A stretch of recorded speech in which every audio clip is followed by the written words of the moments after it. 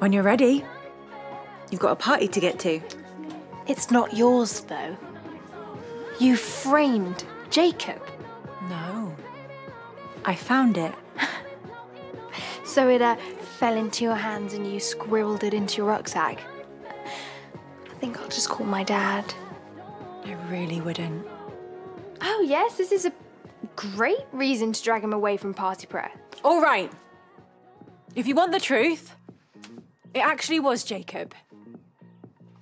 Wait, so stealing the cash so he could blame Billy for it? Are we uh, back on that? I have no idea what he told you. But even a tiny rock like that would have cleared him out. Right, so he's a thief and a cheapskate. you seriously think that I'm going to trust your word over his? You stole the cash. You just haven't got the guts to fess up about it. Why the hell would I steal it?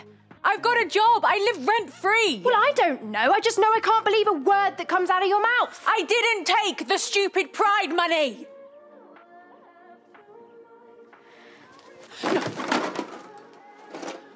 What's this then? That's private. Is it Jacob's as well? No, it's mine. My bits box. We've all got one of them, right? The random stuff you can never quite throw away. Come on then. Talk me through your mementos.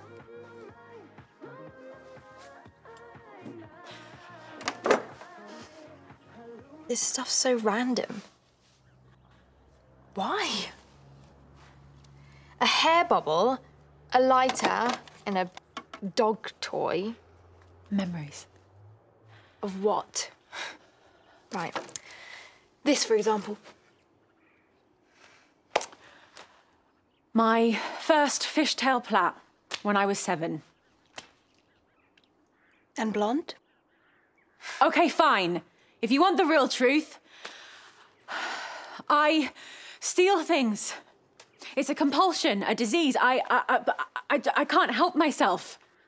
Kleptomania. Yes, exactly.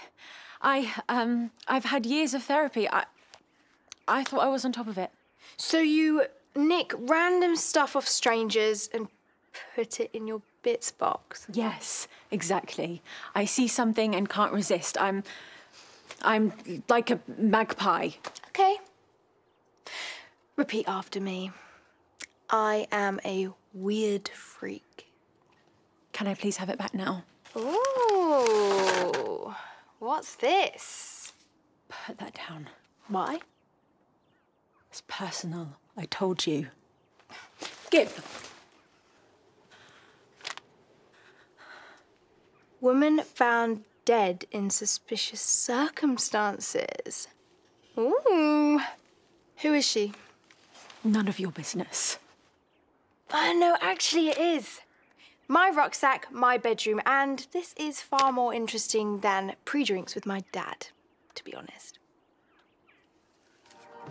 The deceased parents, Roger Butler, bracket 58, and Madeline Butler, bracket 56, say our Nadine lit up a room. She was loved by everyone. It's not funny. A girl died. Yeah, but you still haven't told me who she is. My best friend, happy now? Ah, here we go.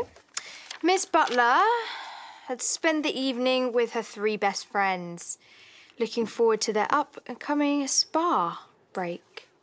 Why are you even doing this? You're the freak, Leanna. Tanya Marsden, Danielle Smith, and Sunny Lipsy, all 22. Oh. Where's Meena Jutla? You were her bestie, wouldn't you uh, be in the crew? I didn't go. Weren't invited? Wouldn't want to be. She was found dead in her car yesterday after inhaling carbon monoxide fumes. Police suspect foul play. Uh, what does that mean? No idea. So, who did it then? Don't know. Well, you've got the article, so you must have a theory. Not really. Well, did they not interview suspects? Her friends, did they not interview you? Why would they do that? Well, I mean, um, you said you were besties. Have you finished? Dredging up the trauma, forcing me to go back there. I didn't mean for her to die. Yeah, um, definitely crazy. Anyway, I need some Prosecco. Um, so this was fun. I mean, I'd say you could pop in later, but I think that might be a bit awkward.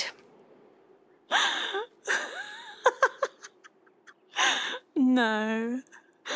Spiteful little snoopers don't get to walk away. Are you threatening me? Do I have to remind you that you work for my dad?